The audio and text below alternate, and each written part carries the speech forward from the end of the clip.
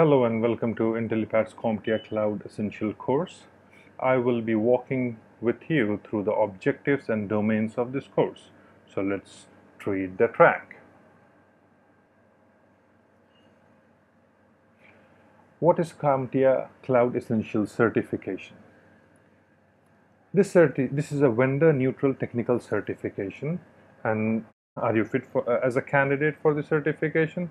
Well, the certification is for business analysts, business process owners, technical support staff, managed service provider personnel, new data center staff, sales and marketing staff in cloud product or service environment as per CompTIA Cloud Essentials objectives. But I would include the students as well. In terms of prerequisites, not a requirement but recommended that candidate must have at least six months of experience working in an environment that markets or relies upon IT related services. There are certain further elements which I would like to add on to uh, which will come into the next slide.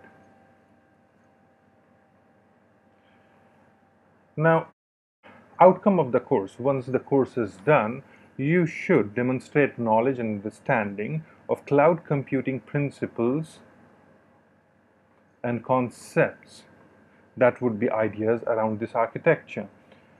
Understanding of cloud computing from business and technical point of view. Now, as we all know, or we will know after this course, that this is that is cloud is more or less packaging of existing technologies we already have some technologies it is repackaging of those technologies which were pretty much living in silos on their own islands. Technologically you got to understand the pieces of the parcel in order to put it together. Let's find out. To truly understand what I mean by silos and what has been there in terms of technology, we all understand that there has been compute. Say this is a server and whenever a business requirement comes in say you need an exchange server for email what do you do? The operations team requests to accounts team and its management for approval and provisioning of a hardware server. This hardware server post their approval goes to the technical team for purchase. And this procedure can be uh, in a varied form, it varies from business to business. Bottom line is, it usually used to take approx 1 to 30 days for provisioning a server, including the licensing and identification of the hardware, hardware devices which would get into the server. Now you put that server in place and bring it up for business. This was the traditional model for any service to begin, to kick a start. Now with the new architecture, what we are doing is, or what is being done is you take the same hardware and provide a hypervisor if you do not know what hypervisor is stand by and we will explain what types of hypervisor we have and what is the hypervisor. It is a virtualization layer which is set on the bare metal. I mean, there could be various form of hypervisors but for now just just bear with me. Let's assume a hypervisor is a software which sits on top of the bare metal your CPU hard disk and then it helps you in creating a virtualized form of operating system over it, multiple operating system.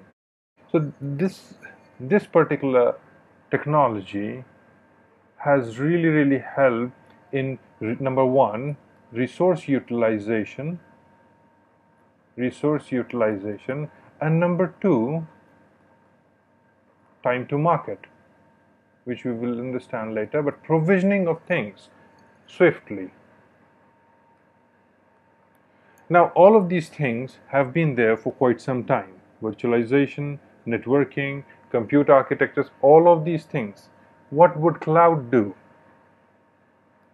Cloud takes all of these virtualization and networking and uh, other stuffs in the compute domain and provides another abstraction or maybe if you will presentation for you to deliver you elasticity. That is whenever you would need you can create virtual machines or you can expand you can throw more weight to the compute.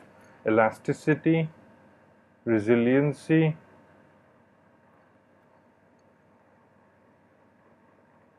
time to faster time to market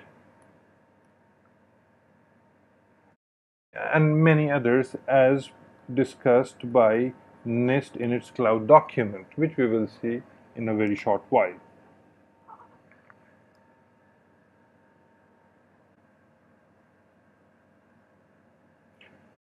So here, here are the domains as prescribed by CompTIA and on the right side we have percentage weighted per domain so 15% for domain 1 20% so on and so forth so what are these characteristics of cloud services from a business perspective. The keyword is business perspective. Cloud computing and business value. This cloud computing, new architecture, how is it impacting your business value? How is it adding on to it and changing the paradigms? Technical perspective and cloud types. Now, cloud types you might have heard about public cloud, private cloud, hybrid cloud, all sorts of cloud, the rainy cloud. We will look into it. As steps to successful adoption of cloud. So once we understand a technology and we have an understanding that that technology serves the purpose of your business needs and requirements, we need a solid path towards adoption. Adoption could be your existing infrastructure to cloud, from cloud to your existing, infrastructure connections. There are varied forms of adaptations. We will look into it in further slides impact and changes of cloud computing on IT service management. We already have an infrastructure, be it Microsoft's uh, framework, be it ITIL, or any one of them. We already have a laid out procedure plans and, and a management strategy. How is this change in paradigm going to affect our system? That is what we are going to do, uh, discuss in domain 5. Domain 6 Risk and consequences of cloud computing. Any change, any change which we make begets a risk. The success towards that change is to ensure uh, is a proper risk management and mitigation. Identification of those risks is part of that mitigation and management procedure. We will look into that in domain 6.0. Moving on to the next slide uh, this is the domain which I discussed that I, uh, further slides would follow. If you have some information, and this is part of kind of prerequisite from my side, uh, if you have some information on Microsoft Operations Framework or ITIL knowledge, and some information on business processes which you intend to incorporate into the cloud, or basic knowledge and or and basic knowledge and experience about I, about IT, that is truly, truly, truly going to help. But does not mean that you have to have these things. If you have, that is going to be an add-on. Now I have put together a mind map around these domains. So in center you have CompTIA Cloud Essentials and we have 1.0 domain, domain 2, 3, 4, 5, 6. To me it has always helped having a reference point, a pictorial presentation of things, and that is what it does for me, and I hope that it will do for you.